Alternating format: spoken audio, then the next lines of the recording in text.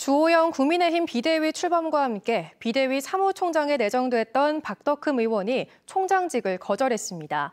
당 전반을 챙겨야 하는 사무총장보다 국회 상임위원장을 맡는 게 지역에 더 도움이 된다고 판단한 건데요. 충북 의원 두명이 집권 여당의 중심에서 중책을 맡게 됐다는 기대감은 하루 만에 사라지게 됐습니다. 정재영 기자의 보도입니다. 박덕흠 의원의 사무총장 대정은 같은 삼선의 이종배, 장재원 등 쟁쟁한 후보군 사이에서 발표된 깜짝 발탁이었습니다. 윤핵관으로 불리는 권성동 원내대표 역시 거쳐간 자리로 지역 조직위원장 후보들을 심사하는 조직 강화 특별위원장도 겸하는 요직입니다. 충북에선 민정당 시절 박준병 의원 이후 첫 사례로 알려졌는데 박덕흠 의원이 임명 하루 전 스스로 총장직을 거절했습니다. 총장을 맡으면 사실상 후반기 국회 상임위원장직을 포기해야 하기 때문입니다. 국민의힘은 전반기 국회에 늑장 출범에 따라 당내 후반기 상임위 배정을 내년 1월 1일자로 하기로 한 상태. 박 의원은 여당 몫인 7개 상임위원장 가운데 기재위 또는 행안위원장 자리를 노리고 있습니다. 여기에 새 지도부 출범과 함께 끝나는 시한부 임기도 부사 결정에 영향을 준 것으로 보입니다. 상임위원장을 잘못하면 못할 수가 있어서 제가 상임위원장을 해서 우리 지역 발전에 충북도에도 큰 도움이 될 것 같아서 제가 고사를 하게 됐습니다.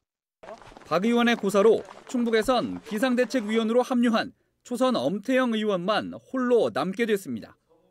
내일부터 가동되는 비대위에서 혼란 수습과 차기 지도부 선출을 준비하는 중책을 맡았습니다. 엄 의원은 오랜 정치 경험으로 여러 갈등 상황에 중재를 맡을 적임자로 인정받은 것 같다며 반성과 쇄신을 통해 혁신으로 이어지도록 하겠다는 각오를 밝혔습니다.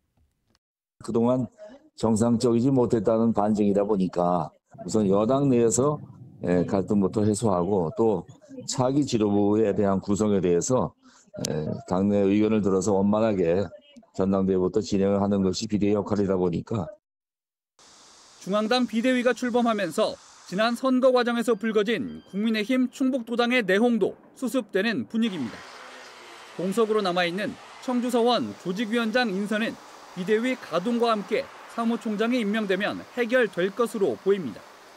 경대수 충북도당 위원장은 전 위원장의 사당화 논란, 공천 갈등에 대해 알려진 것만큼 심각하지 않다며 곧 화합하는 모습을 보일 것이라고 말했습니다.